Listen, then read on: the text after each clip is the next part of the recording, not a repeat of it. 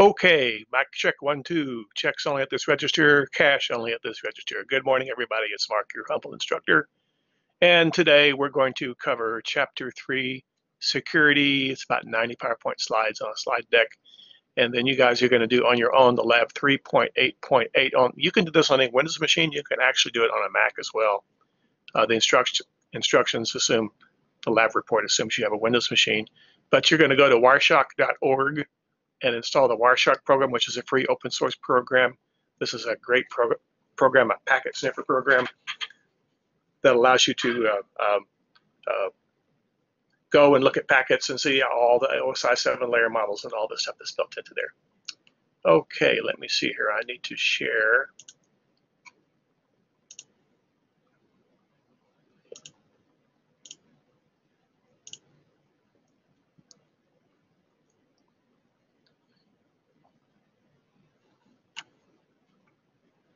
And uh, this is the module we're going to cover today. Module 3, Chapter 3, covering security.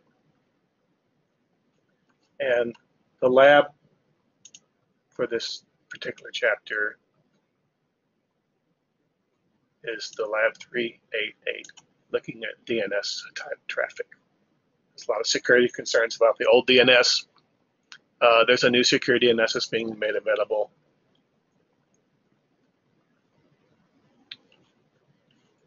So uh, let's see, I will stop sharing this and start sharing this.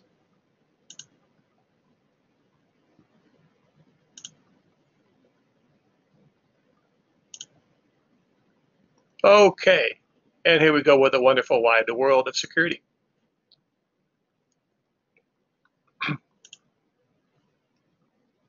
Just checking to see if I can advance the slide properly. Okay, let's look at some uh, terms here. Um, uh, he talks about assets, uh, sometimes called the corporate estate.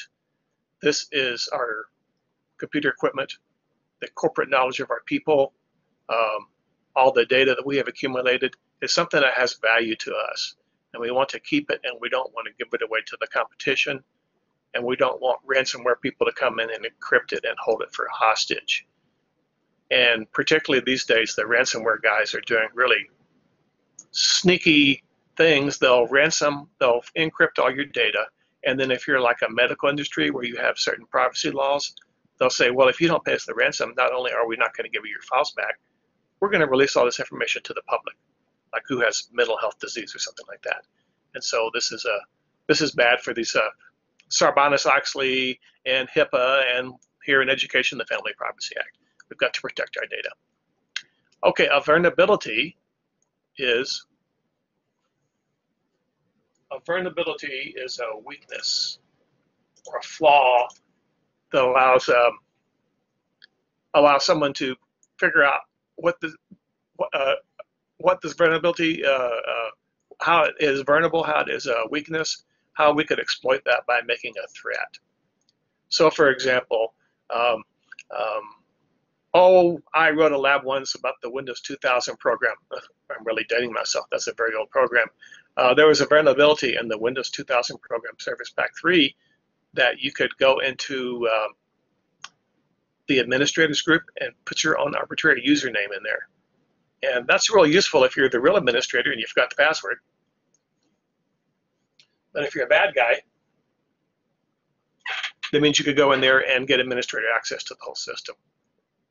Uh, so there was a program written that's still out there called Metasploit that uh, you just point to the IP address of the Windows server and you say, I want to put a user in the administrators group, and you could click it right in there. And Windows fixed that with Service Pack 4 for Windows 2000. But there are other vulnerabilities that are out there. So a threat is a danger. A threat is like someone gets the Metasploit program, a script kiddie gets the program, and um, uh, they can threaten the system. Using an exploit which is a mechanism that, for example, buffer overflow, a lot of code, particularly Windows code, is not that well written. And you could go in with an exploit and overflow a buffer and put arbitrary lines of code that are executed by the machine that uh, then you could go and do things like erase the data or put your own users in there. Okay, mitigation is like buying insurance. What are the chances that your car is going to be stolen? Well, you're going to buy insurance to mitigate that threat. So a mitigation is something that we do uh, like intrusion protection systems or antivirus softwares or passwords that are long and difficult to remember or guess um, that tries to lower that risk. So the lawyers in the company are going to tell us we have to take due diligence to mitigate these risks. Uh, some things are too expensive uh, to do, and we're just going to accept the risk. So the risk is a likelihood that someone might come in and get to an asset by exploiting some type of vulnerability that's in there. And this is going to be bad for the company, bad publicity. Think of Equifax, which I call Equihacks. About a year ago, it came out that they had failed to patch their Apache Windows Server software, and the bad guys were able to get in there and, and steal important data like people's social security numbers. So, vectors of network attacks, a path through which someone can get in. So in the old Windows 2000 software, there was a path you could go in by coming in and performing a buffer overflow and then getting access to the machine and compromising that internal host machine. Um, ironically enough, we must protect ourselves against the outside people like the oh the the, the our competitors or the black hat guys. We have to worry about our own internal company as well, about our own employees that have an agenda, or maybe there's someone a corporate spy that got hired in the help desk and they're working inside. So we have to have security both both inside and out. So data loss.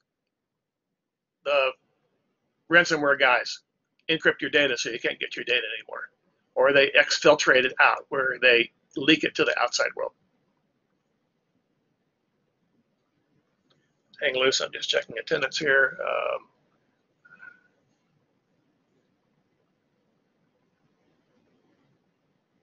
okay.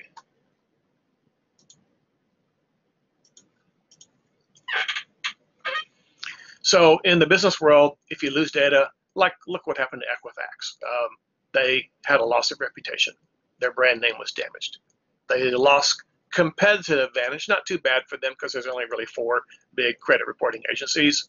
Uh, you could, uh, in this case, uh, we're not the customers. We're the product. The customers are the businesses that get credit reports from us. Um, you could lose revenue and you could get sued. People have sued Equifax because their personal data got out there. Um, so it's our job as network engineers and security professionals to uh, try to mitigate these losses and protect the reputation of the company. Okay, so email, social networking. Um, uh, you could send an instant message on oh, Facebook or something like that, and it could be captured and reveal something about you. Uh, data that is sent over a network that is not encrypted is pretty much anyone can get a free copy of Wireshark and see all this data. Uh, for example, the Telnet protocol that we use to log into a remotely a switch or a router is totally unencrypted. Uh, it's be better practice to use oh, Secure Shell, which encrypts the data. Everything is in the cloud now. You can encrypt data that's in the cloud. So data at rest in the cloud server or data that's moving from point to point, uh, if it's encrypted, has weak security settings, uh, it could be lost or it could be uh, revealed to other people that should not be able to see it.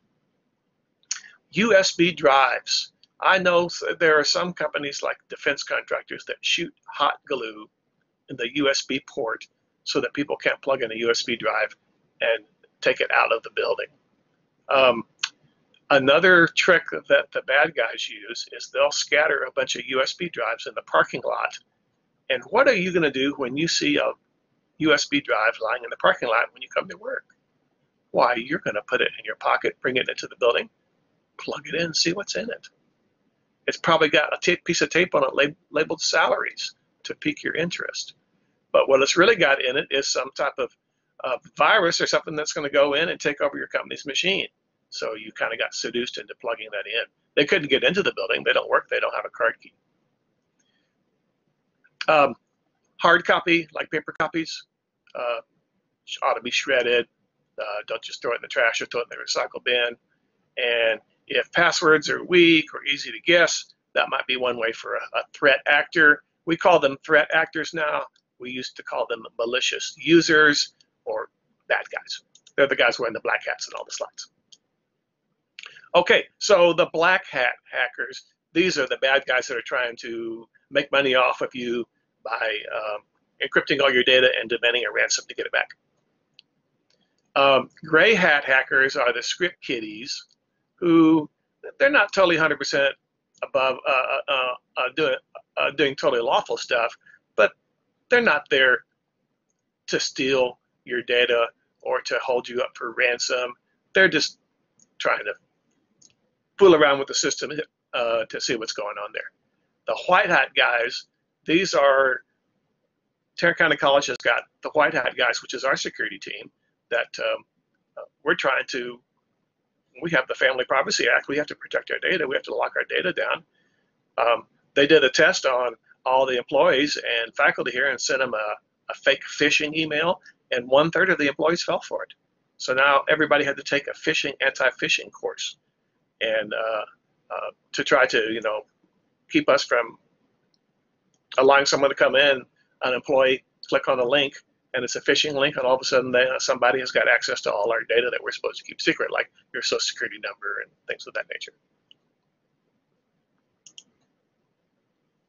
Okay, script kiddies are usually people that are getting started. The hacker, the term hacker used to be a term of honor it was someone that was so good with writing code in a few short, simple lines that us grizzled veterans would shake our heads in disbelief that this kid had written this great little line of code that did something so elegant and wonderful. But you've been conditioned by the press that a hacker is now a bad guy. He's someone's going to hack into your system. Uh, script kiddies are not code experts. They just get a program off the web like Metasploit and use it. And it's just, you know, point and click. No programming skill required. Uh, we have vulnerability brokers that um, there are bounties paid by Microsoft and the other companies. If you discover a flaw in their code and report it to them, you can get paid. So a vulnerability person, a vulnerability broker could could do something like this. Now, hacktivists are people that are they're activists, like a political activist with hacking skills. So they may, you know, maybe someone's got a personal agenda against Amazon. Oh, Bezos the beast, um, and they're going to use a distributed denial of service attack to slow down Amazon on Prime Day or during the Christmas rush season to try to slow them down. So they're a combination of a hacker and an activist. Uh, cyber criminals are working for working in large groups or by themselves. And of course, the National Security Agency leaked a few years ago, ago leaked a bunch of tools out that all the ransomware guys are using now. So they're holding all these companies. Uh, they're encrypting all these companies' data, and you don't get the key back unless you pay them the ransom. And the bigger the company, the more money they want. And actually, it's ironic. The the the uh, uh, uh the, the, the guys that are uh, encrypting their data have better customer service than Microsoft because they want to get their money. Okay, state sponsored. Oh, I think of, oh, North Korea, which supposedly did the Sony hack. It later turned out it was other people, but it's always easy to blame. Oh, blame the Russians, blame the Chinese, blame the North Koreans. Okay, blame all these communists for doing this stuff. State sponsored stuff. All nations, all states have their own groups that are experts in this stuff because they're always constantly trying to get information from each other. That's what spies do. Okay, cyber criminals use uh, uh, uh, try to get into a company and do ransomware or something of that nature. Um, there's a big underground market in stolen credit cards. So someone puts a, a scanner device at a gas station and everybody that goes there for the next day or two that buys gas with their credit card or their debit card, they steal all those numbers and they sell them on the open market, and they have a good value in the open market, maybe five dollars a number or something like that, until they get old and stale because eventually you're going to notice that your number, your credit card's got stuff on it you didn't do it, and they'll have to change your number.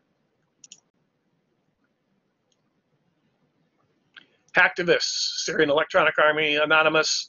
Um, uh, these are people who have political agendas. So they're going to use free tools, freely available tools, kind of like Metasploit. the state-sponsored people are our deal. Oh, well, oh, he, he mentions the Stuxnet malware. The Stuxnet malware is widely believed to be of Israeli origin, and it was intended to to uh, shut down Iran's uh, what do you call these spinners, these centrifuges that create uh, enhanced uranium. It got out into the wild, and now it's probably the one that damaged the the Honeywell controller that was in what was that place in Japan that the nuclear power plant had a flood and had a problem. Uh, it got out in, into the wild, and in the intelligence community, that's what we call blowback. Thank you very much. Yes, Fukushima, the power plant, which supposedly leaked and a problem. Okay, we're not going to see the video because uh, band, uh, Blackboard just doesn't have the bandwidth to share video over here. So I'll talk, talk to you about it instead. So um, you must have some sort of tool to exploit a vulnerability. The tools have become, oh, Metasploit is a great one to use. They don't require a lot of technical knowledge. So uh, a password cracker, sometimes they're called password recovery tools. Want to cracker recover a password. Can you think of any legitimate use for such a thing? Well, what about if the guy who had the master password for the Microsoft Active Directory domain controller left the company, or maybe he left the company, he was mad, he changed the password on purpose. And now we don't know what the password is, and we need to continue to put new users in and reset their passwords. So we need to be able to um, uh, reset that password to something we know. This is kind of like password recovery on Cisco routers and switches. I don't care what the previous password is. I just need to be able to uh, change it to something I know. Uh, in the wireless world, we've got uh, AirCrack and the other tools that can listen, particularly if you're using oh the old WEP wireless encryption protocol. No one should be using that. I call it weak encryption protocol. It's very easy to break that in about two minutes with one of these tools, and then get you hack into somebody or use somebody's free Wi-Fi access. Um, Nmap, uh, NetScan type tools. Uh, example, Nmap is a tool that will scan a uh, particular host machine and see which ports are open and which you're listening. If it was a web server, like a server in a data center, it's listening on port 80 for incoming web requests for the company. It's listening on port 25 for email requests that are coming into that company. It's listening on port 53 if it's a DNS server. It's listening on ports 67 and 68 if it's a DHCP server, things of that nature. So someone that's scanning the company might determine that, well, this must be a ser server and I should try to break into this. If it's someone's workstation, they're not going to be workstations, employee client machines. They're not going to be running web servers. They won't respond to port 80. Uh, packet crafting tools are used to to change the packet to try to get it. It would normally be rejected by a firewall or an intrusion detection device. And in the packet sniffer world, Wireshark is the wonderful one that's totally free, open source. I love open source software that runs on multiple operating systems. Wireshark runs on Windows, it runs on Macintosh, it runs on Linux, and uh, it's a great tool for doing the stuff that we previously needed. When I was at Harcourt in the 90s, there was a $25,000 piece of hardware, a network sniffer called the sniffer. And it was in Orlando, and I asked them to send it to me so I could use it. And no, they wouldn't let me use it. They didn't want me let me use this tool. So today you could get a cheap two or three hundred dollar netbook or laptop, put Wireshark on it, and you got yourself a portable packet snipping tool for almost nothing. Okay, other tools, uh, rootkit detectors. Um, some one of the ways uh, an exploit is to come in and root your Linux or root your Windows and put something in that can't be detected by antivirus software. So rootkit, rootkit detectors can uh, can find these. Um, fuzzers um, uh, scan a computer and, determine what its vulnerabilities are. Um, now, uh, forensic tools, if a security violation occurs in a company, the security team is going to first of all, they're probably going to unplug it from the internet. And then they're going to go and use their forensic tools to try to find out what happened with that computer. And there's special tools like EnCase that, that security people and law enforcement use to try to figure out what happened in that particular hard drive. They normally don't do anything with the hard drive. They normally clone it, and then they work on the clone, and they lock the original hard drive up so they can preserve custody, chain of custody. Uh, debuggers are devices to, to reverse engineer files. Uh, so uh, you don't have the original source code, you just have the, the object code, the binary code, and it can reverse the binary to the actual code that wrote it and give you a clue as to what's going on with that code. Um, okay, Kali Linux is a, oh, by the way, Kali Linux is kind of famous or notorious as a Linux distribution that includes a lot of security tools. Um, when we were still allowed to be on the TCC campus, occasionally, when I tried to download Kali Linux, it would say, no, that's not, that's not allowed, that's prohibited. But Kali Linux actually offers a very nice introduction to Linux course, nothing particular about security, but a good general purpose how to install and do a little bit of, of stuff with the Linux operating system using Kali. It's a free course. You can go to kali.org, K-A-L-I.org, and you can uh, uh, learn something about that. Uh, the Metasploit system was for many years put in distributions that had security tools because it's a it's it's a a tool that's good for us good guys. It also could be a tool for the bad guys. So we need to know what they're doing. Uh, encryption tools are tools that can uh, encode data. So uh, open secure shell, uh, he doesn't list the uh, pretty good privacy. These are tools that you can use. We'll talk about keys, encryption keys later, how they work. so you can encrypt the data, and, and if I give you the key, then you, you can be able to see my data, but nobody else would be able to see it. Uh, uh, vulnerability exploitation tools, Metasploit's the most famous one, where you can, uh, with very little programming ability, you can start hacking somebody just because you have a political agenda. And then vulnerability scanners look for open ports. So you can scan, so he's got port 80 open there. He's running the old Windows Internet Information Services. That might be pretty easy to break into. Okay, here's some attack types. An eavesdropping attack, I'm gonna run Wireshark and listen to your traffic. Now, we're running a Microsoft network and it encrypts the passwords. You're probably pretty safe. But if you were running Telnet, hey, I can listen to traffic and learn your name and passwords. Probably the same name and password you use everywhere else. Uh, data modification attack. I'm going to get the data. What? Well, what if I'm going to the bank and someone's depositing $100 from my checking account to my savings account and I add an extra zero to it. Now I've got $1,000 instead of $100. Uh, do you think the banks want to stop something like that? Yeah, they have good security. Chase has excellent security. Uh, spoofing attack. I'm going to change my IP address to something else. In the internet service provider world, they always filter the private inside addresses, 192.168, 172.16, 10 dot, because people will try to spoof their IP address. Oh, for example, Tarrant County College uses 10.144 for our South Campus inside addresses. So if I made spoof my address and changed it to that from the outside world to try to break in, it would be accepted by the inside machines as a legitimate inside machine. Unfortunately for the hacker, the ISPs will filter that; it won't go through. Now, if I can somehow learn your attack, uh, learn your password, I could log on as you. And then I could get everything that you have been privileges, rights and privileges you've been given on the network. Okay, denial of service attack is designed to shut shut down the ability for authorized users to get to a system. Um, so, for example, think of the TCP sync, sync ACK, ACK. Uh, normally, I send the sync as a client. The server responds with sync ACK. Then I respond with ACK, and I open a session with the server. What if I send a sync and didn't respond to the sync ACK with my ACK? And then I got 100 of my close friends to do the same thing. We've now tied up 100 incoming channels on that server with a distributed denial of service attack.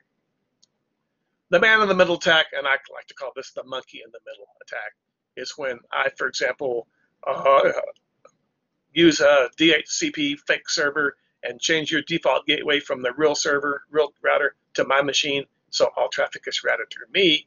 And then now when you log into Chase Bank and put your password in or something, I've now learned that, and I can uh, monitor all the traffic back and forth between you and the bank or whatever secure place you're going into. A compromised key is a key that is no longer secret. If I get your key, then I can see everything you can see. The sniffer is something like Wireshark. If they're not encrypted, or if they're in, if they're encrypted and I have the key, I can see all the data. Okay, malware.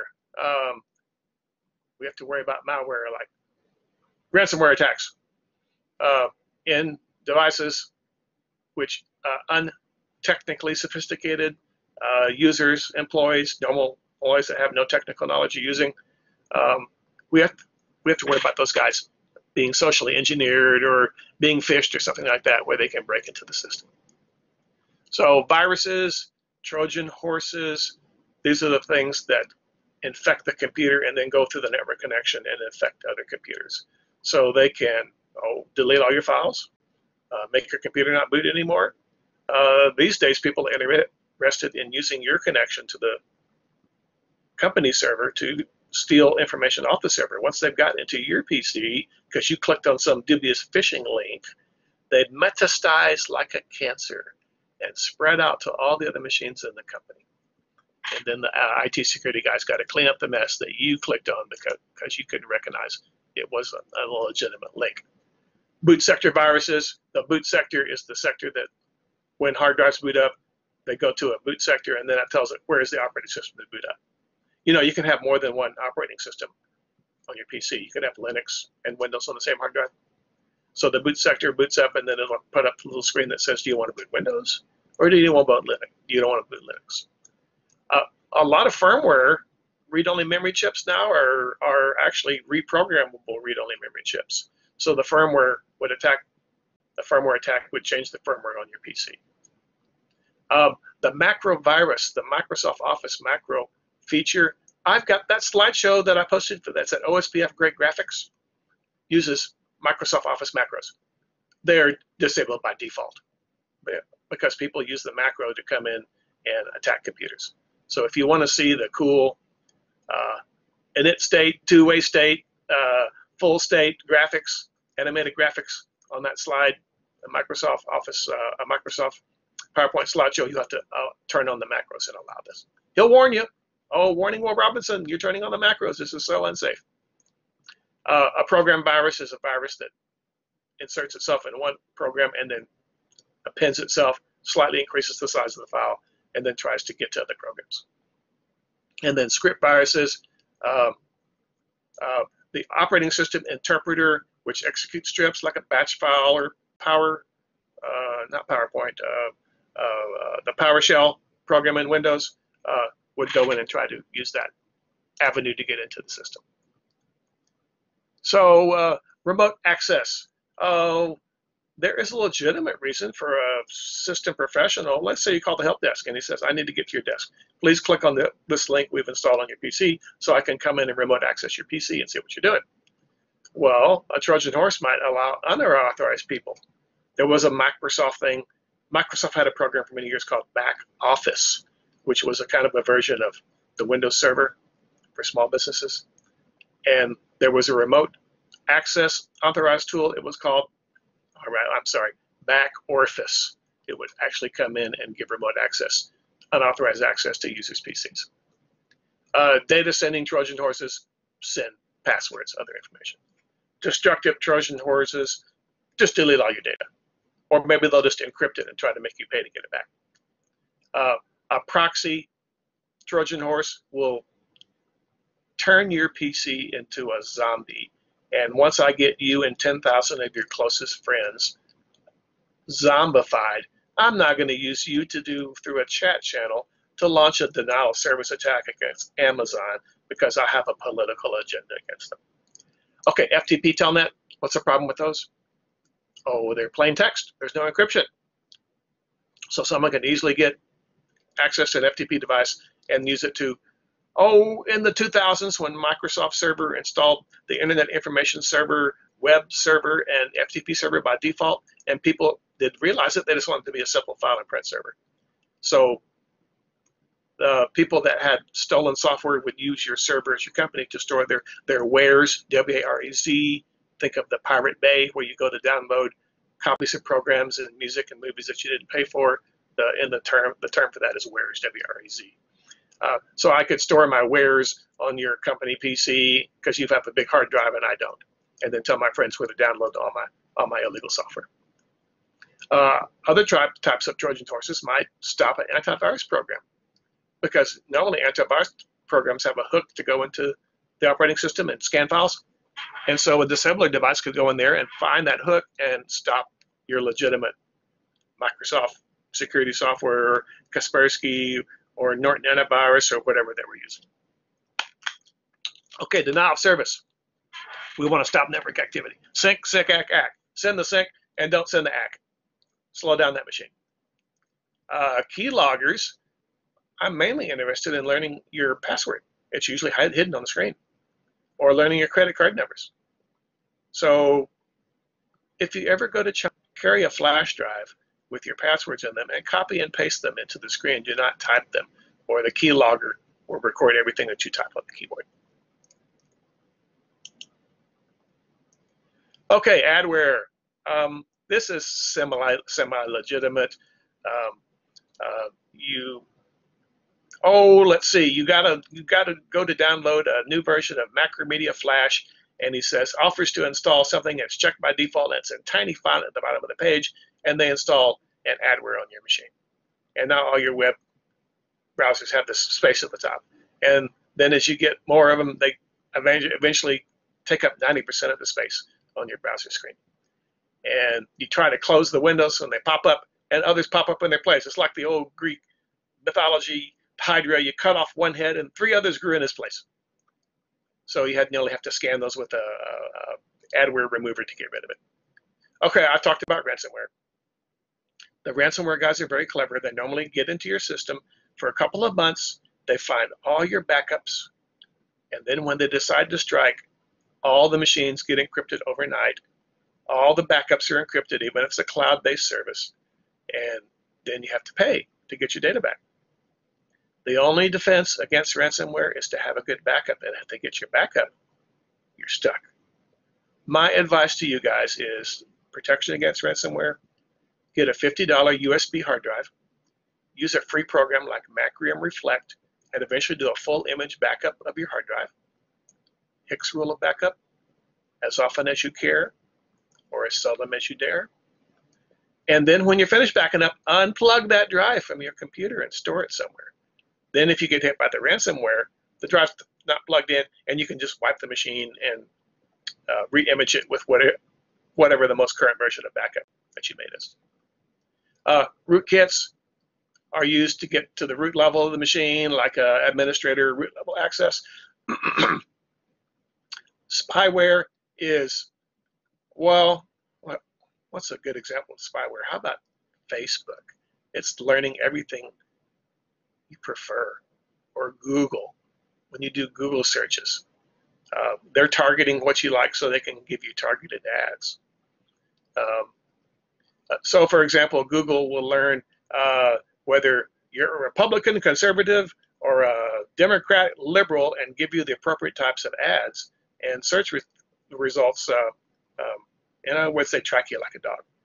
So, as an alternative to Google, use something like uh, uh, Yandex or DuckDuckGo. They don't track you. They don't. They don't uh, try to figure out what you are. Okay, a worm is a type of virus that starts in one machine and sort of worms its way into the rest of the network. Okay, we want to attack the network, and we're going to look at reconnaissance attacks, access attacks, and uh, okay, and uh, denial service attacks. Okay, we can't see the video, but uh, what he's saying here is the steps that attacker. If I was an attacker, I want to break into your system. First of all, I'm going to go to uh, the name and number authority, IANA type servers, and figure out from your domain name for your company what your IP addresses are. And then I'm going to sweep, do a ping sweep. I'm gonna, the ping, the pings that respond, I know you have active hosts at those addresses. Okay, so you come back with 100 IP addresses that are working for your company. Uh, the third step is I'm going to do a port scan. Well, I'm looking for machines that are servers that are responding to port 80 for web servers or responding on port 25 for email. That's probably the main file server for the company, and it's going to have a lot of stuff device on it that can, that can uh, help. Once I've determined the IP addresses of the juicy servers, Then I'm going to run vulnerability scanners on them, find out what version of the software they are, because you can tell, is it a hardened Linux Bastion server? Or is it a unpatched old Microsoft server that's going to be easy to break into? And then finally, I'll run my exploitation tools like Metasploit and break into the system. So uh, reconnaissance attack. I want to do my information gathering. Uh, before I actually do the attack, I'm going to use that to find out. So I'm going to do uh, do a Google search, go to WHOIS, find out what your IP address range is, uh, get a pro program that'll scan, you know, 192.168.1.1 to 100 or something like that, whatever your IP address is, and uh, then determine which IP addresses are responding. Then I'm going to port map, like nmap, do a port scan of those IP addresses and find out which servers have, uh, which are probably servers. Then I run my vulnerability scanners and exploitation tools and, and try to break into your system. okay, no video, sorry, bandwidth isn't allowed. So access attacks are trying to get through some vulnerability, exploit, oh, authentication services, uh, Microsoft Active Directory, uh, Active Directory domain services as an authentication service that the college uses. Uh, FTP services for file transfer, web servers. How to get get information the Met, the Equifax people got exploited through their web server and stole people's social security, social security numbers of all all of us, uh, which we're not the customers, we're the product. So in a password attack, I want to, well, let's see, why don't I just try every possible password in the world? And eventually I'm going to find yours. So uh, there are all sorts of password cracking tools to do this as system administrators, we normally do things like, oh, if you put in three incorrect passwords in a row, I'm going to lock you out for 10 minutes. Uh, in Novell NetWare, that was called uh, uh, intruder detection. So that way it could slow you down. Uh, in a spoofing attack, I might try to pretend to have another IP address. I might try to pretend to have another MAC address. I might pretend to be a DHCP uh, server. We're going to have uh, more on that later. Um, have you guys heard of Kevin Mitnick? He was the guy who got his start 20 or 30 years ago breaking into Kmart PA systems and saying amusing things over the system. He moved onto computers, hacked into a lot of computers. He was an excellent social engineer. He was a charming individual. So a social engineer attack is something like this. You're at work and you get a phone call and the guy says, it's Fred in the network engineering department. We fixed that collision domain that you had in your department. And uh, would you please verify your password so I can test that's working properly for your department? Now, it's not Fred from the engineering department.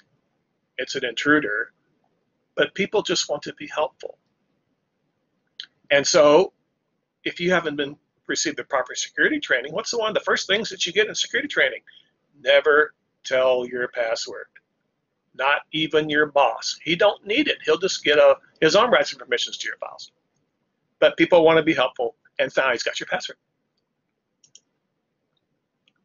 So pretexting. Uh, Fred pretended to be from the IT department of your company. He's not got a phone list from the trash bin. He's calling people. He's eventually going to get the password from somebody. Uh, phishing is when you get an email and it's got a link in it, it and it's oh your Microsoft operating system has expired. Please click on this link. And they try to get your credit card numbers and other information. Uh, spear phishing is typically targeted toward the financial people or the chief executive officers, the C-suite guys. They are normally, they know a lot about money, but they're usually pretty dumb when it comes to IT. So um, that way I want to try to say, create a fake thing that says, please authorize a $100,000 transfer from the accounts payable to this particular, actually a someone that's stealing it, and it makes it look like it's real. Okay, spam mail, junk mail, Microsoft Office Outlook that we use does a pretty good job, good job, uh, job of uh, sorting out the spam and putting it in the spam folder. If you're using Google Mail or Yahoo Mail, they do the same sort of thing. Uh, quid pro quo the threat actor requests something in exchange for something else. In politics, you think of quid pro quo where the politician in Congress says, well, uh, give me a project so I can put an aircraft plant in Fort Worth, and I'll give you a project so you can build a $100 million bridge nowhere in Alaska. That sort of thing. Something for something. Okay, oh, the baiting. Oh, look at that. Use a flash drive in a public location, and then he brings it brings it into the company and and injects some type of terrible virus into the company's uh, uh, network system. Impersonation, that's like pretexting, pretend to be somebody they're not. Uh, tailgating. Uh, a lot of companies have a card key locked doors. So you go down to the entrance and they're all standing out there smoking and because they can't get out a lot of smoke in the buildings for 30 years now. Uh, so you just wait until someone opens the door and goes back in. You follow them in. They're going to be nice. They're going to hold the door open for you.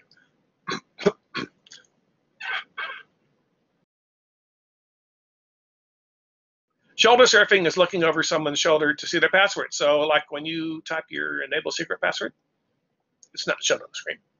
They can't see it.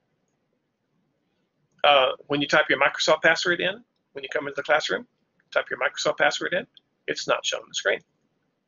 Uh, dumpster diving, I'm going to go to the dumpster behind the building, which is probably a non-secure area, and try to look for someone who threw out last year's phone directory.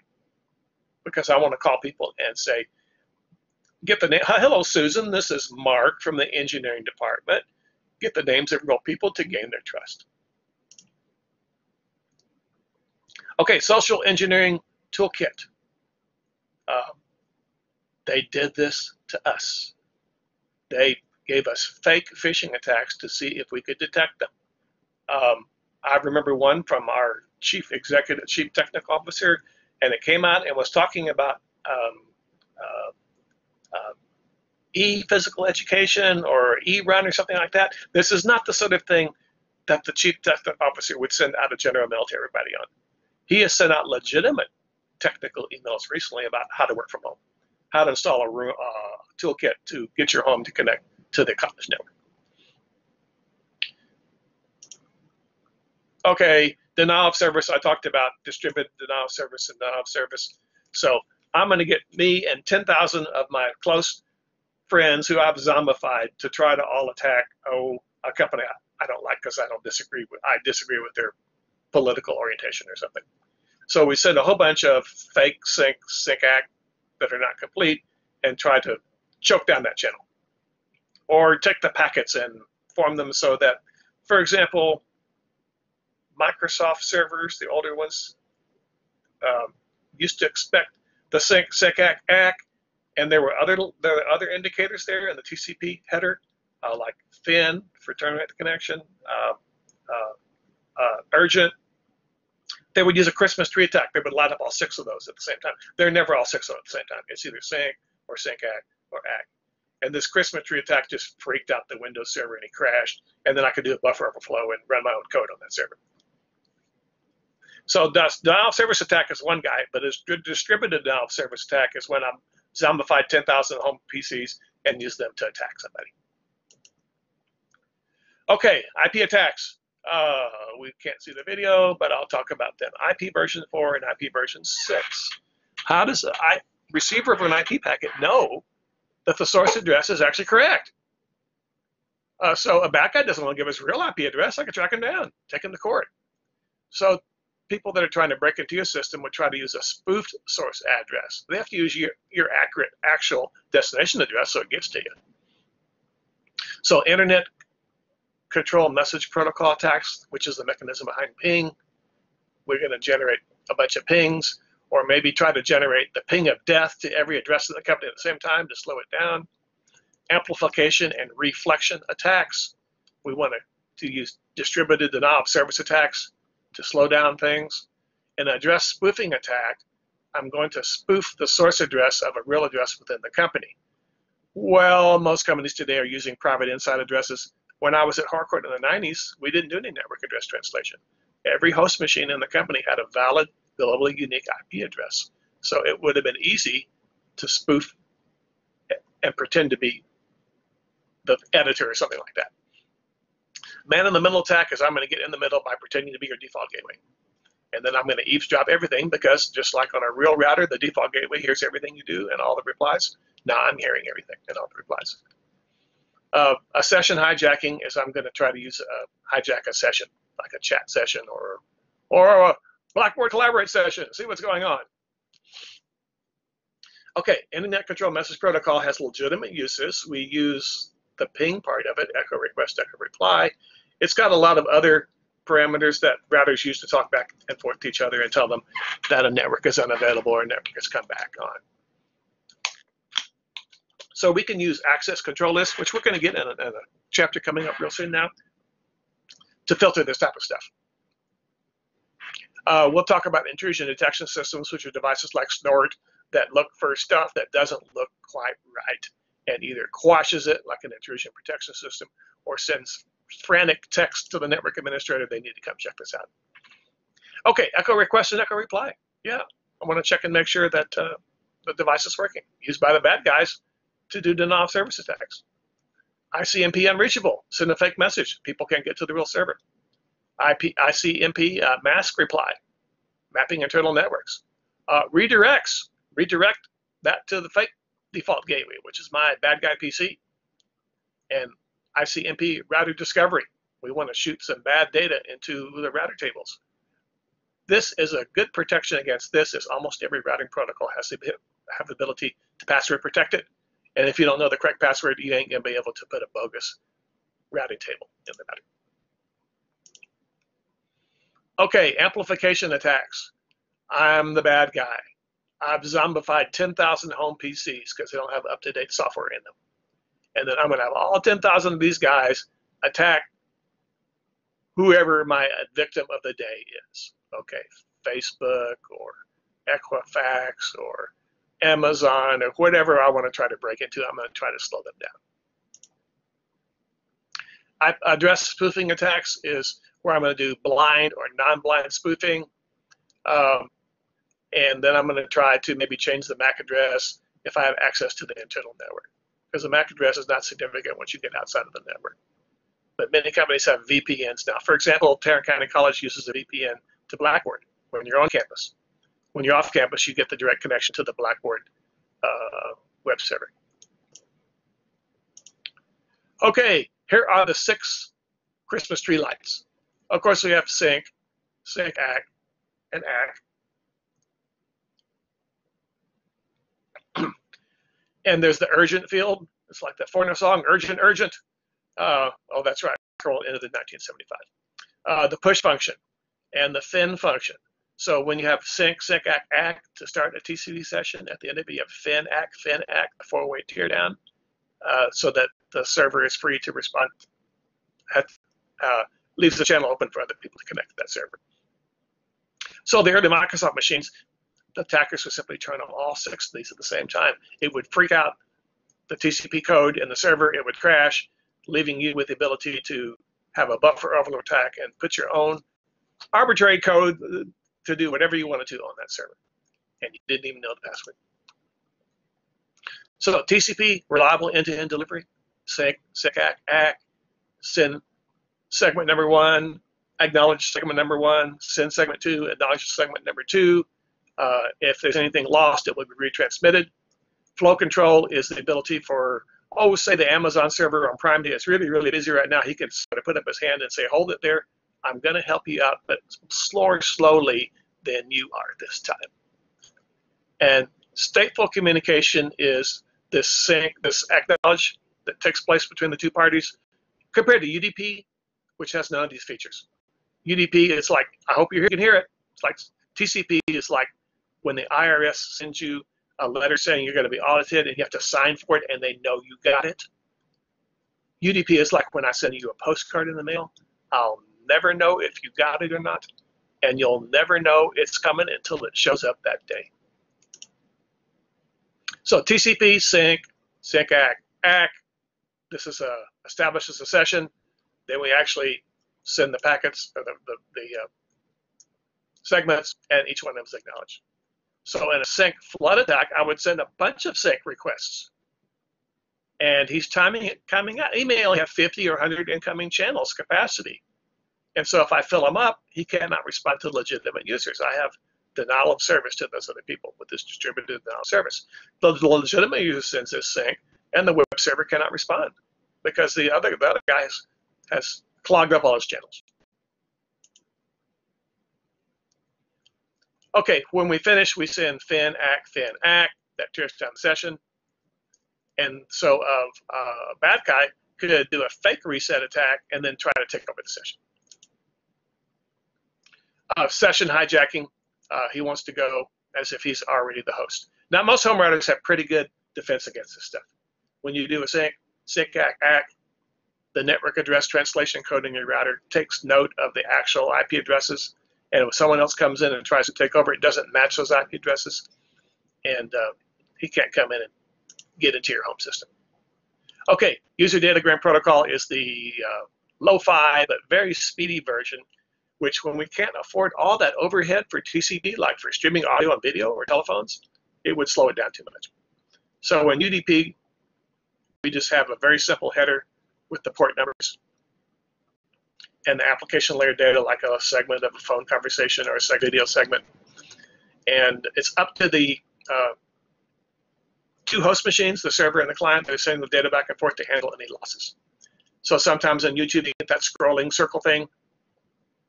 Uh, or in a voice over IP telephone, we don't need a lot of bandwidth, and we can tolerate a few packets being lost because telephone quality is pretty lousy anyway.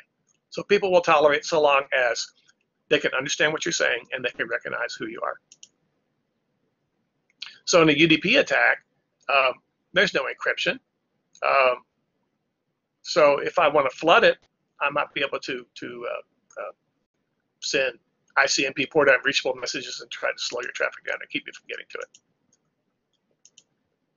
Okay, uh, ARP vulnerabilities. Um, ARP address resolution protocol is I need to learn another host machine's MAC address and I know his IP address.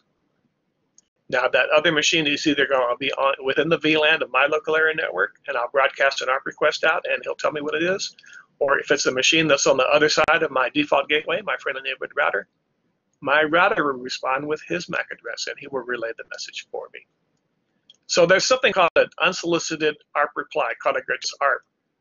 Gratuitous ARPs are evil and should not be configured in any system. Uh, so this means that anybody could send a fake gratuitous ARP and redirect you, a client employee workstation, to a bad guy system and and all the traffic on normally then would send to the default gateway router goes to this guy and he hears everything. ARP cache poisoning is every machine has a cache recent communications and they store it for three to five minutes depending whether it's a workstation or, or router or switch. So uh, a cache poisoning would would use to kind of be the man in the middle, monkey in the middle tag, and try to uh, change these uh, ARP cache to the bad guy's device instead of another one. Okay, DNS is not very secure by default. Uh, new secure DNSs are coming available. Here is the best advice I can give you with regard to DNS do not use the DHCP service and accept the normal DNS address that's given to you by your internet service provider. Uh, some of the cable companies in particular have been found that if you mistype, if you mistype Microsoft, for example, you'll get targeted advertising from their DNS servers. It's absolutely possible to click the top check mark box on your IP control panel and say, get the IP mass default gateway from the DHCP server, you have to have those. Click this checkbox underneath the DNS section that says specify manually and put in the easy to remember address of 9.9.9.9.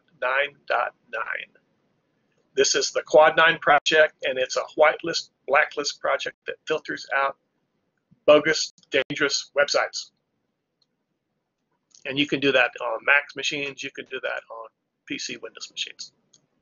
So if I can take over your DNS, then I can point to anything, and it could be a bad server. Okay, DNS cache poisoning attacks. I'm gonna.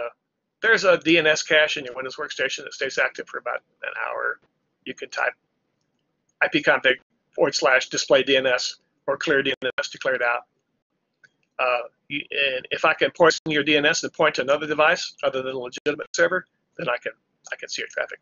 Uh, DNS amplification and reflection attacks, we're going to use a distributed denial of service attack on an open DNS resolver. The resolver is your workstation, not the DNS. The DNS resource utilization attack is going to also look for open resolvers and try to to corrupt the information that's in there. Fast flux, double IP flux, domain generation algorithms are things uh, that can, once I zombify your machine, I'm going to point you back to my chat server. And then when I'm ready to attack Amazon or Facebook because I'm a political activist or something, I can then use those to generate that attacks for them. Okay, shadowing attacks. I'm going to silently create different domains, and that way the actual owner of the domain probably won't notice. We hope that he won't notice. Okay, DNS tunneling. Place non-DNS traffic within uh, uh, something that looks like legitimate DNS traffic. Most people's DNS servers are not that secure. There are new secure DNS features available. So uh, we can use recursive uh, queries, which query the upstream DNS server. If we don't know it, try to uh, to, to learn a web server that's uh, just been recently been put on put on the system. So we have to use a filter that looks at that stuff. Uh, and the good quality firewalls can be program checked for this. Uh, Cisco firepower, it's merely adequate. Cisco will practically give it to you because they're getting so much competition from the really good firewalls like Palo Alto or Fortinet. Those are the market leaders right now. Okay, DHCP servers. Uh, legitimate use. I'm going to flip on my workstation, and he's going to send out the DORA discover request. Please give me my IP address. And the server, the DHCP server will respond. Here's your IP, here's your subnet mask, here's your default gateway, here's your DNS server, here's your domain name, here's all your other stuff. Uh, so if I, what if I brought a $20 Linksys router and plugged it into my office, into where my PC was located? It has a DHCP server. It could give out fake 192.168 addresses to other people in the building instead of the normal 10.144 addresses we need to fix that. So there are some features in the Cisco IOS uh, DHCP snooping where we tag all the ports as untrusted that go to my desktop port in my office or trusted ports that actually go to real servers in the data center that need to respond to DHCP addresses. So I'm going to connect my rogue DHCP server to the network and give them a false wrong default gateway so I can intercept all their data. I'm going to give them a wrong DNS server address so that uh, when you click on Microsoft.com, you're sent to our site. I'm going to give them the wrong IP address, and then you can't do your work. So if I can get my rogue DHCP server to a switch port, and I haven't configured DHCP snooping, it's off by default, then whenever a client requests a DHCP server, it, it's actually good practice to have two or more DHCP servers on the network in case one fails, the other one can give out addresses. You have to be careful not to give them overlapping addresses. So the client's simply going to respond to the first offer received. Now, the rogue offer will be responded to first because it's plugged into the same building that you are. It's not a couple hops away back at the Trinity River Data Center. And then legitimate server gives up because he thinks another server's done it. And now I've taken control of your machine. Now, in the lab, you guys are going to configure Wireshark and look at some DNS traffic. And the details for that are in the lab. CIA, not the Central Intelligence Agency. This is the information security. Confidentiality means once I've logged into the system with my secret password, I'm the only guy that can see that particular data, my private folder on the server. Nobody else can see it integrity means my data that I've saved, my company spreadsheet, is not hashed or messed up. Um, availability means I can get to it when I need to get to it. So bad guys want to violate confidentiality by learning your password. Then they want to violate integrity by taking $1,000 out of your savings account and putting it in their account. And they want to violate availability by people from getting to an online merchant and buying things. So defense in depth, I like to talk about this like layers of an onion. Um, let's do one thing and let's do another thing and wrap these each other. If somebody manages to get around one layer of defense, maybe the other layer of defense will stop him. Sure, we're going to do a enable secret class on the router, and then we're going to put a firewall around that, and then we're going to use long passwords for users, and we're going to do all these different things so that it becomes more difficult for the user. Now think about the burglar that comes into your neighborhood. You've got great locks on your door. Your neighbor forgot to lock his door. Who gets robbed? Burglars are lazy. They're going to go to the easy door that opens up or the window that was left open and go rob that house. If you take extra layers of security with your house, he's going to not waste time with you. He don't want to get caught and noticed. He'll go to something that's easier. So in networking security, the same sort of a thing. Uh, virtual private networks, firewalls, intrusion protection systems, uh, servers that uh, we don't have to do enable a secret class on our 300 routers when we change them. So we want to harden all the devices. We want to turn them what we call bastion hardened devices. And now when the data, that data is in rest, it's protected. Data in motion across the links, we must protect that as well. So a firewall is essentially a service router. It has Ethernet ports to go back to the company network. It has Ethernet ports to go to the leased line connections to the rest of the world. It allows legitimate traffic. Uh, in this case, this particular one has been uh, uh, programmed to allow traffic from outside addresses to go to the company web server so they can buy their products. It's allowing FTP traffic. It's allowing traffic to the mail server. It's allowing traffic to the uh, uh, IMAP so employees can pick up their email from home. Um, we're going to deny all inbound traffic with network addresses with our inside addresses. All ISPs do this. We're going to deny all inbound traffic to the server from external addresses. You must be on premises to get to the server. We're going to deny all inbound ping requests. Many companies have filtered ping, so you can't do the basic reconnaissance. Uh, Yahoo, I think yahoo.com still accepts ping from home. Try ping yahoo.com and see if you get an answer back. Deny all inbound Active Directory requests. You must be on premises.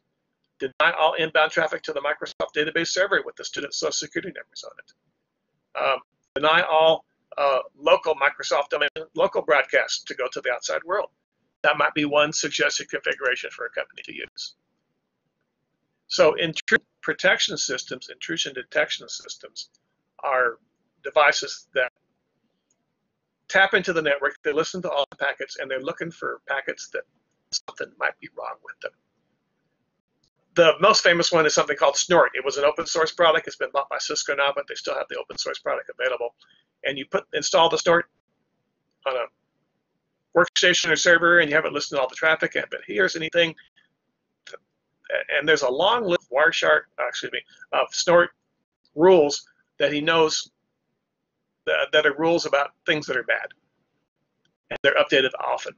And so you can keep your device updated, kind of like in the same scheme, keep your antivirus updated with the latest signature. And uh, when something appears on your network that's out of out of uh, ordinary, that could be bad, he'll detect it. In the case of an IDS, he will detect it, and he'll send an email or a text message to the system manager. Intrusion protection system will actually grab it and try to destroy it. So an intrusion protection system, the bad traffic comes in from the outside world, and the intrusion protection system determines that this is a bad packet, like a ping of death, and he drops the packet. Legitimate traffic would be on it. It's the wild, wild world of the internet out there. We got to be careful because anybody in the world can get on the internet. A Cisco email security device looks at email coming in and tries to look like if it's an email with a bad attachment or something like that, it'll place it in your you know, uh, quarantine folder or something of that nature. Web security uh, appliance for WebEx. Cisco has several products for these. Okay, uh, let me talk about cryptography. I want to um, encrypt the data so that only the people who have the legitimate keys can get it back.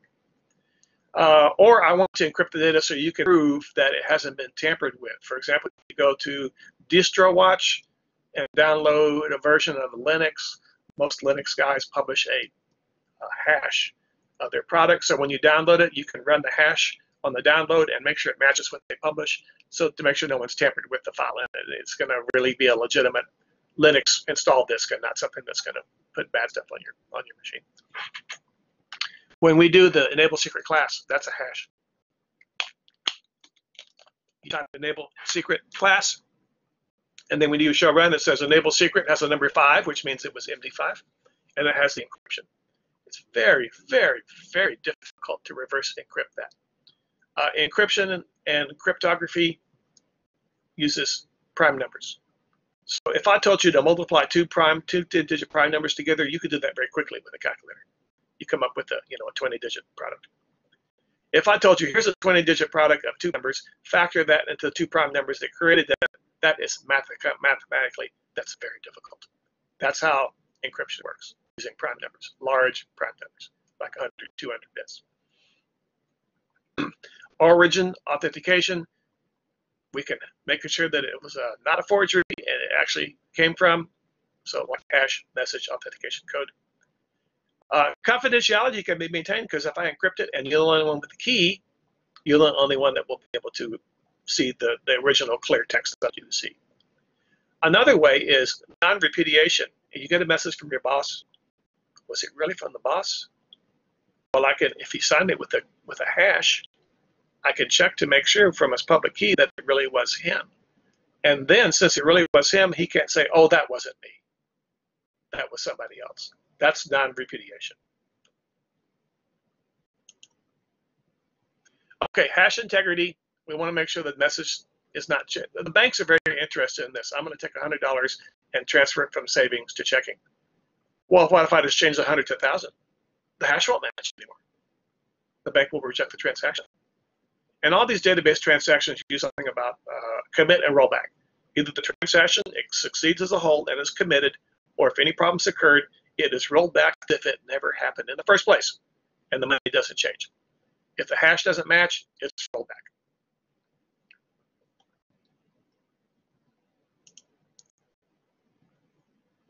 So MD5 is 128 bits. When you show, when you do enable secret class and show run, you see um, about 32 weird ASCII characters. You stick in that 128-bit uh, digest, and try and interpret it as a printable character on the screen. So you see those weird characters. Very, very difficult to reverse engineer those. Uh, SHA-1 is similar to MD5, but it's more bits, a little bit better. SHA-2 can be 512 bits. So we want to get ahead of the criminals who have advanced PCs that are much quicker than before and make it impractical for them to try to reverse engineer and break these codes want, we want to make it so it would take them three or four years to do something, and we'll just change the code every day. So that means we're protected. There's no way they can get in.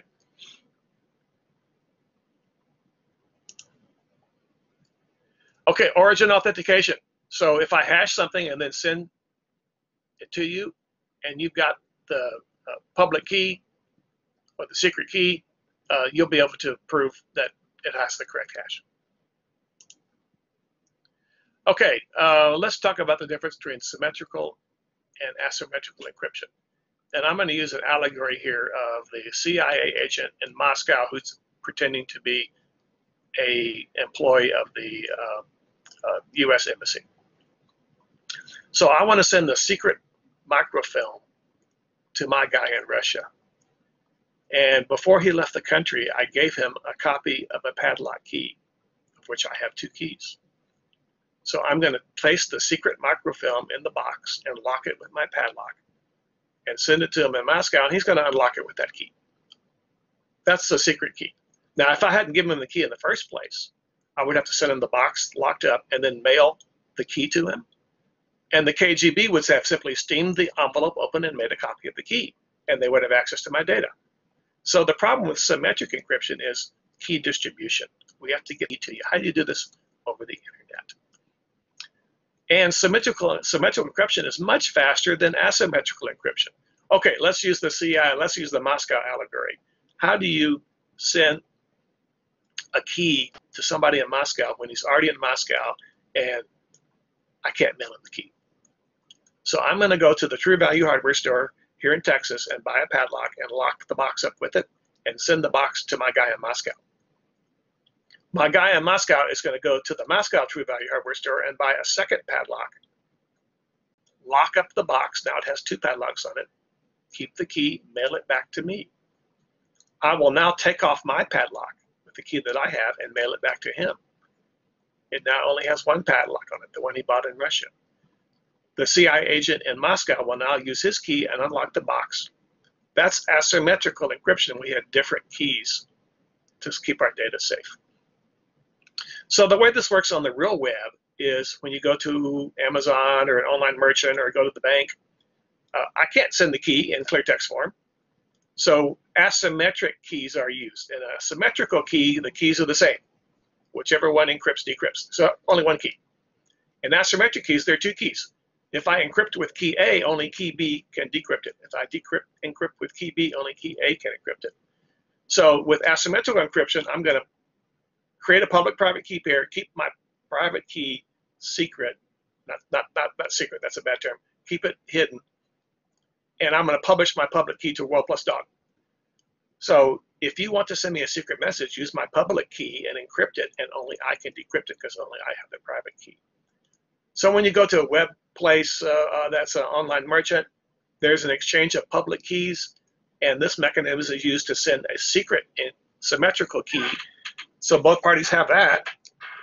And then they'll switch to symmetric encryption and the transaction will be very fast. So in symmetric encryption, it's a pre-shared key. They're both exactly the same. If I encrypt it with the key, I can decrypt it with the same key. Um, and you can make the key lengths any length you want these days. Not like an NT 4.0 in 1990 where it was 40 bits for Cuba. So uh, DES, triple DES, AES, SEAL, and the RC, these are all symmetric encryptions.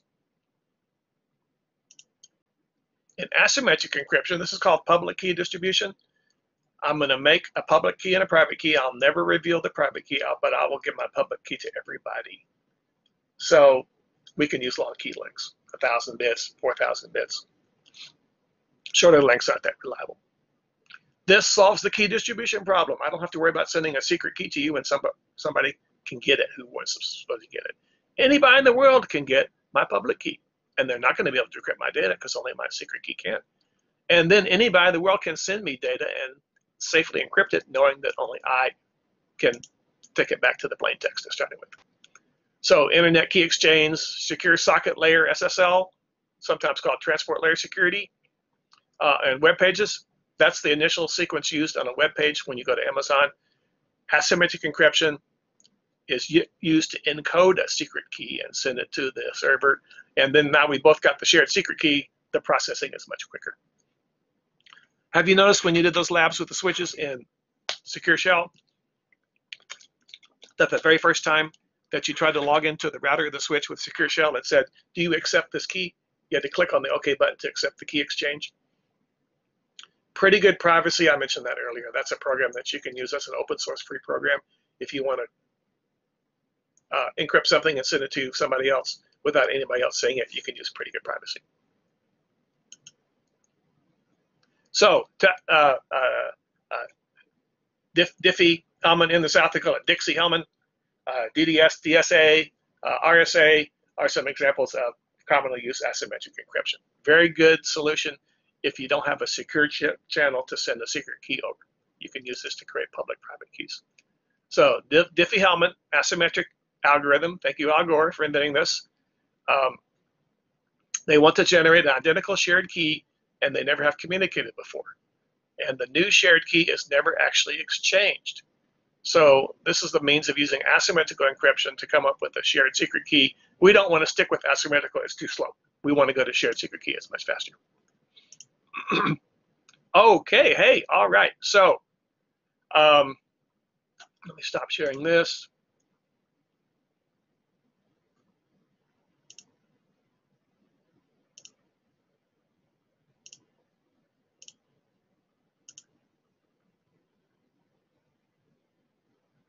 Okay, so your lab assignment is to, and, and I want to get caught up here, guys. I think we can get caught up by the middle of next week, back to our original, original schedule.